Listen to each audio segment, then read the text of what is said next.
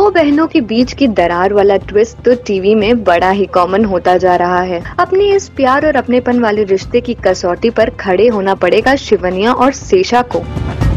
सेशा ऋतिक के प्यार में इस कदर अंधी हो गई है कि वे बन गई है अपनी ही बहन शिवनिया के जान की दुश्मन। इतना ही नहीं सेशा ने हाथ मिला लिया है उनकी ही माता पिता के कातिल यामिनी से।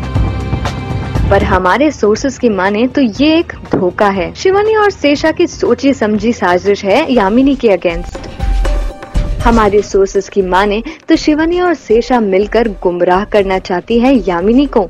और जानना चाहती है यामिनी का हर एक प्लान इसीलिए तो सेशा ने यामिनी से हाथ मिलाया है। खैर, ये ट्विस्ट कितना सच होता है, ये तो आने वाला वक्त ही बताएगा। टेलीविज़न जगत की सारी इंटरेस्टिंग अपडेट्स के लिए सब्सक्राइब करें टेलीबाइट अक्साक बानी टेलीबाइट्स मुंबई